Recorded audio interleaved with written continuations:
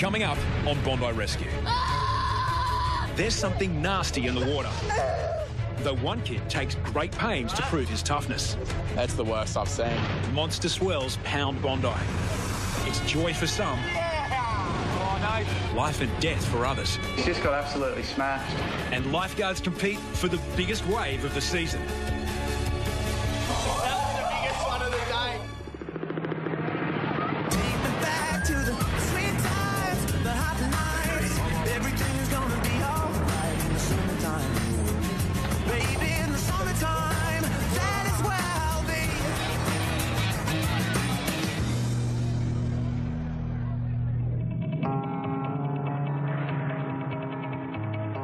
Bondi. It's a beachgoer's paradise. But there's one type of visitor that can quickly spoil everyone's day. Blue bottles are a venomous jellyfish which can turn Bondi into a minefield. Also known as the Portuguese man of war, blue bottles sting more than 10,000 Australians every year. We got blue bottles coming in. Everyone handled in different way, and uh, they're very painful for everyone. So put a sign up, and fingers crossed nothing bad happen.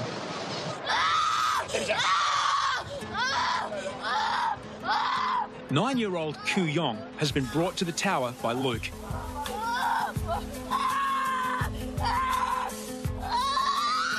There's no tried and true treatment other than waiting for the venom to simply wear off. 10 minutes, 5 minutes, 5, 10 more minutes, it'll, it'll go away. Thank you very much. Some stings are worse than others, just as some beachgoers have different pain thresholds. Being stung by a blue bottle hurts like hell. It's like a, a throbbing, stinging. I don't know what their purpose is in the marine life. You know, I think everyone hates them.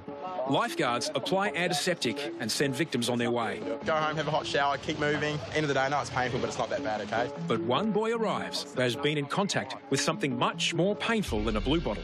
Hey, buddy. stood on a sea urchin. Oh, yeah, yeah, yeah. All right, you're a special one. Come through. This seat's for you. A sea urchin is a little sea creature with all these little sparks that come off it, and they kind of hide in the rock crevices. Yeah, very nasty. I couldn't believe how many sea urchins were in his foot. That's the worst I've seen. I went to jump off the jump rock, and I came back, and then a wave came and swept me over, and tried to stand up, and I fell through a hole. And Now, all you I stood on a sea urchin. Terrible. Worse than a blue bottle. Sea urchin spikes carry toxin and are extremely brittle. Like needles of fine porcelain, they easily break. Usually, once they've penetrated the skin. What's your name, buddy? Uh, Cameron? Cameron, I'm Harrison. I'm your surgeon for today. Jesse and Harrison start the delicate operation, removing the spines one at a time. Oh, that one. These are real tricky because they're so small, and poor Cameron here, once he steps in them, um, they just snap off. It's just, yeah, tweeze is your only hope. Otherwise, you might have to go to the medical centre and try and get them out. The little warrior took it on, mate. He was like a little soldier. He, he didn't complain once about pain, and mate, I, at one stage I was digging into his foot. Oh, look at that one. That one, mate. That was that was, that was the biggest one in there. You right? I feel so sorry doing that to Cameron because he was in a lot of pain, but we just had to get them out as best, you know, as quick as we can. I'm pretty positive I've got all of them out. Jesse and Harrison have taken 45 minutes to remove all the spines from Cameron's foot. Good work, mate. You're an absolute legend. It's like nothing else you've ever felt before. Like miniature knives just going into your foot, and then when they're pulling them out, just like someone's just pushing them in even deeper. Huge swells hit Bondi three or four times a summer. They're generated by storm systems and keep most people out of the water. But all it takes for an emergency situation is one swimmer to underestimate the waves and overestimate their ability. It was a big day at the beach. Surf was eight foot. Getting towards the end of the day, and there was nobody down North Bondi at all, so I just went and sat in the corner. Somebody came up to me and said that a lady had drifted right out, and I actually didn't even see her go out.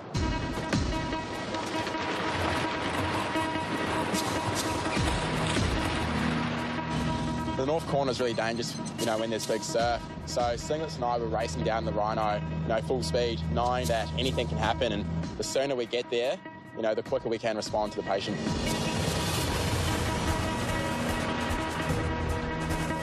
With this big swell, it just pushes out that north corner.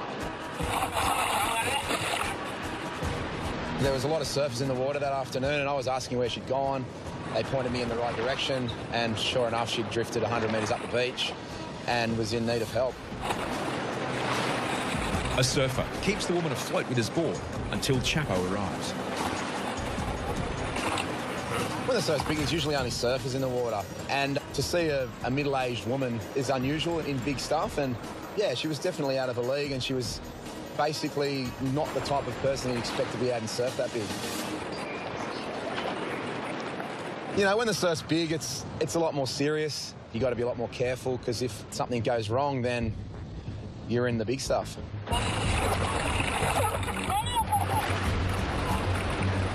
I was really concerned. I knew Chapo was going to struggle to get this girl in. It was a really difficult, really difficult rescue. All right, Chapo's just sneaking into the impact zone. Hey, boys, just watch him here. It's really nasty, that impact zone. Yeah, Dino, I've got the eyes on it, mate. Um, it is pretty heavy in there. The impact zone is the area where the waves break. Chapo hopes for a lull in the swell as he paddles in. Unfortunately, the ocean's very unpredictable, and the big swells did arrive right when Chapo didn't need them to. Here comes the set, Going to get a set on his head in a minute. We were confronted with a big wave just about to land right on us. And she just bailed out and dove under the wave. Oh, no. She's got absolutely smashed.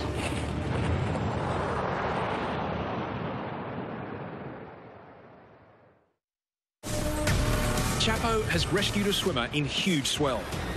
He hopes for a brief lull in the waves. Instead, a six-foot set looms. Oh, no.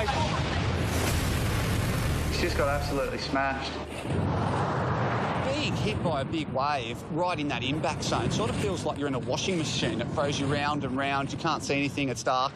You don't know which way's up. As the whitewash settles, Chapo and the patient can't be seen. Harrison uses the rip running along the rocks to get out as fast as possible. I'm on the binoculars waiting to see two heads. I want to see two people hop up. I want to make sure they're all right. Finally, Chapo and the woman are spotted. And there I am with this, this lady. I've got a couple more sets to deal with and I've got no board, so it wasn't the ideal situation to be in.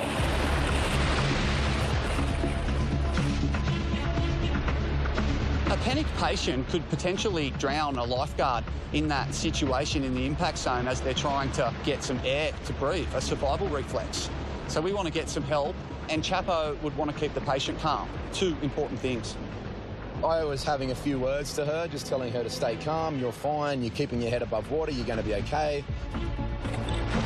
Harrison reaches Chapo and the woman and quickly gets her onto the board.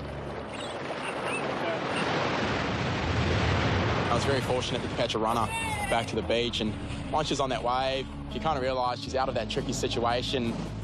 We kind of knew we were out of that tricky situation as well, so she's she had a smile on her face, she's, you know, cheered a bit, and once she got on that sand, I think she was very happy. I don't do many rescues like that where we're just swimming in and it's just about keeping the patient calm. I know better. Normally I don't go when it's like that. But today I, I, I just need to swim and I went. I should have been. I'm going to go in the pool now. Lifeguards must be confident in big seas. Boys, Thanks, you good. how are you? Good to see you again. Dino. To improve their skills, today big wave legend and former lifeguard Jamie Mitchell has come to lead an underwater training exercise. Jamie knows how it feels to be held under by a massive wave. Staying calm and saving his oxygen, he's able to tackle some of the biggest waves on the planet. Yeah, Jamie Mitchell came down, was a, a big wave surfer, pretty well known, so he came down here to teach us some breath holding techniques and, and run the boys through a training session. Yeah, the big thing everyone thinks it's more physical than uh, mental, but I think it's more mental. You know, being underwater is you know a pretty scary place, and uh, you know, being able to you know have your mind you know be at ease and be mentally um, you know relaxed is probably the biggest key. That hopefully that's what we'll learn out there today. We all just went out to the boat ramp to Ben Buckler and got briefed on what we had to do. We've grabbed two big rocks. We're going to do some like uh, underwater rock running, and really it's just to get the guys um, to feel what it's like to be sort of under duress underwater. The aim of the exercise is to dive down in pairs, retrieve a rock, and travel underwater further than your opponent.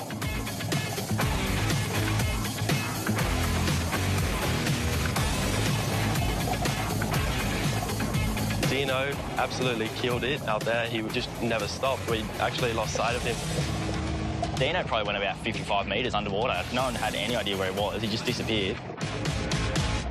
Now we got two Chinese get The most anticipated matchup is between Bondi's two trainees. Me and Jethro, the young young boys, the new boys on the block, were paired up together. I guess I did fancy my chances a little bit. Glick was Glick was confident too. I could see it in his eyes. Boys, you ready? All the boys are watching. Three, two, one.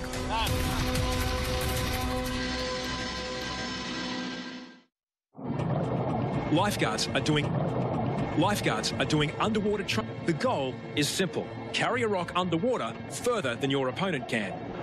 It's time for new trainees Jethro and Glick to face off in front of Jamie and senior lifeguards. Boys, you ready? All the boys are watching. Three, two, one. go! The two rookies are competing for a full-time lifeguard position at the end of their traineeship.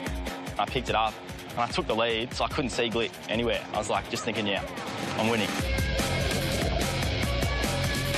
It was really tough down there. I let all my air out at one point and I was ready to come back up.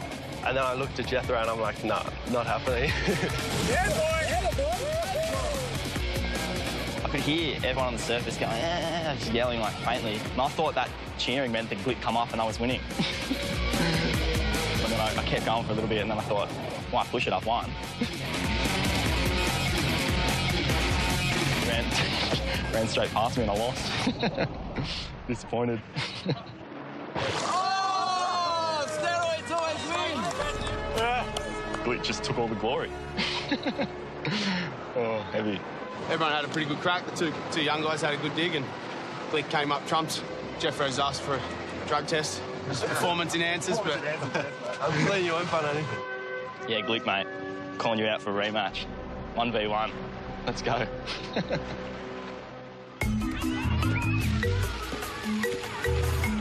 Dino just called from Bronny. Looks like he might have something in the nets around there. So I'm taking the young expendable one, the young Glicky. First and last time, mate. South African-born Anthony Glick has been working hard to make an impression as a trainee lifeguard. But today, his fear of sharks is being tested. Now, we had a lifesaver come in and report that the one of the shark nets had been pulled down, and he was pretty sure that there was something in the net. Boxy thought it was a, a good test for me to get out there in the middle of the ocean and check out the shark nets for the first time, which I hadn't actually done ever before. To get to Bronte, lifeguards must travel across open water that is known for sharks. It was pretty daunting knowing that you're going to go out there, dive down to, in the middle of the ocean, check the shark nets. I realised that I was going to have to, at some point, jump off the jet ski and get in the middle of the ocean right next to where uh, apparently there was a shark lurking. So um, I was getting pretty nervous at this point. You got your goggles? Yeah, buddy. You ready to launch? Yeah, mate. Not really. I'm scared.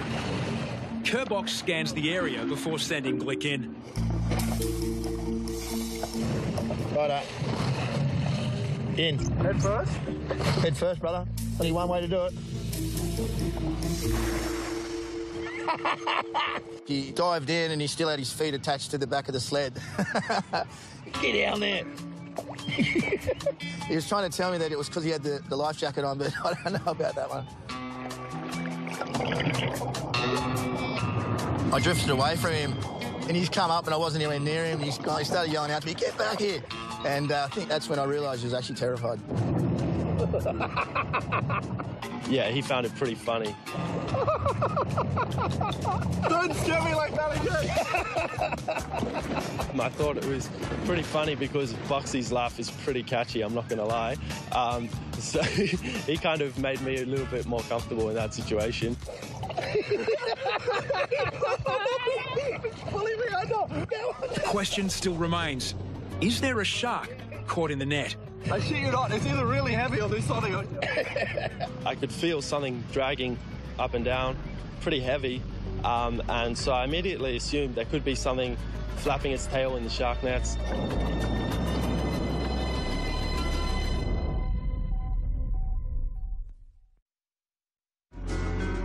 Kerbox and trainee Anthony Glick are responding to a report that something is caught in the shark nets. I shit you not, it's either really heavy or there's something on you. I could feel something dragging up and down, pretty heavy.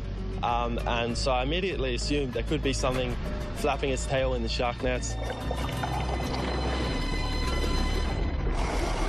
It's just an anchor. it's only an anchor? Yeah, there's no net. over here.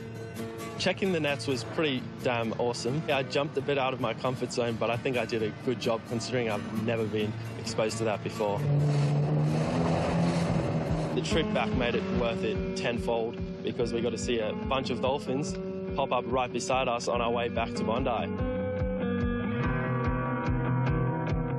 It was awesome. They were right next to us, and it was a nice treat.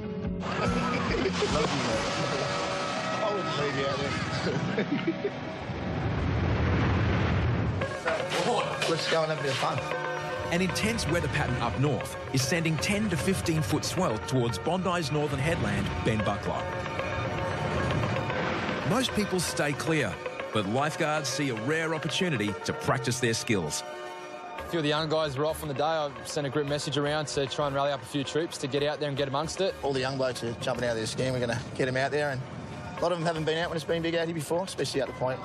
Oh, good. I'm excited. Yeah, very excited. I just want to get a bomb, show the boys I've got a bit to go. I just really want to see someone get smoked. The big waves get gets the blood pumping, a bit of adrenaline. This is this is what I really love. This is the best part of the job. Riding big waves is the best adrenaline rush in the world. The session starts with a massive wipeout. Oh, And trainee Glick riding the biggest wave he's ever caught. Who was that before that went over the storm? Someone's still on it. That was killing me not being out there because the boys were getting bombed. The boys were charging out there. The usuals were always going, you know, Maxi, Kerbox, Whippet was out there on his surfboard, Dino was charging. And, you know, it was good to see the young guys out there, Glick and uh, Jeffro, they were getting a few too. It felt a little bit bumpy, but then seeing footage after, you realise how, how much you're flying through the air. Yeah, we're out there to have fun, but we definitely had a lot to prove out there. Man, Glick. Jethro, you can see the mock. Glick beat fellow trainee Jethro in the underwater challenge, but today it's all Jethro. Jethro's showing him how it's done. Jethro's going to get this one all the way through. Jethro's man of the match. The swell continues to build, and more lifeguards head out, hoping to catch the wave of the day. We knew there was that elusive bomb set somewhere. Everyone's goal was the same, and it was just to get that wave, that wave of the day, the bomb. This big Bertha come through, wrapped around that uh, point like no tomorrow.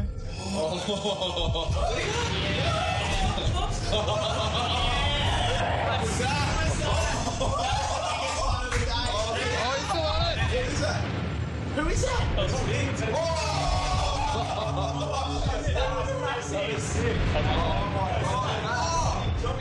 So this guy just popped out of the middle of nowhere and just caught the wave of the day, and we were like, "What? Like, what's going on? Like, who is this?" Did a bit of a head count out there. I knew it wasn't Jeff. I knew it wasn't Glick. Definitely wasn't Kerbox. wasn't me. It turns out the mystery man is the producer of Bondi Rescue, Ben Davies. Benny Davies. Benny Davies. Well, that one you just cut out of nowhere and won it. Next time on Bondi Rescue, Santa's limelight is stolen by a couple of furry friends. Merry Christmas! Lifeguards and lifesavers race each other for the same rescue. It wasn't just about getting there before him. It was a serious incident. I had to get there as quick as I could. And Matt D sets a Christmas challenge too good to refuse. You can finish them? Yeah.